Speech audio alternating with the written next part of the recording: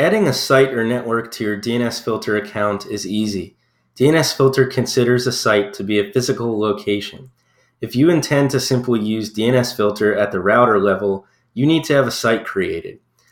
This is your network info such as public IP address, name, and physical location.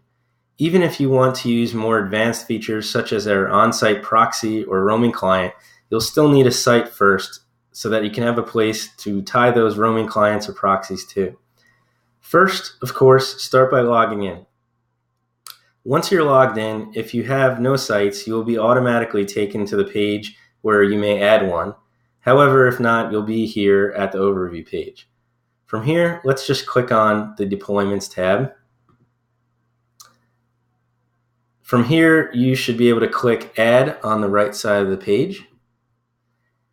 And now we're at the site configuration page. So first we're going to want to enter a name for the site.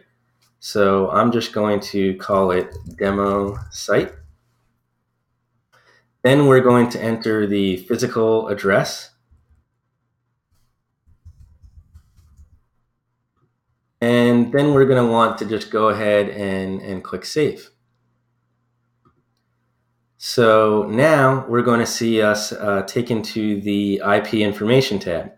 So here you want to enter either the uh, either enter in the public IP manually, or you can click fill current IP to just have you know the, uh, the your own IP if you're at the location be filled in automatically.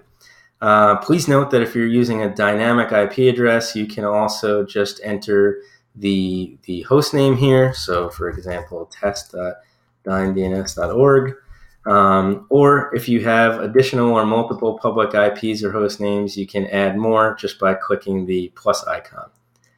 Uh, once you're done, just go ahead and click save. And that's it. To actually start filtering at this site, the next step would be to add a policy to it.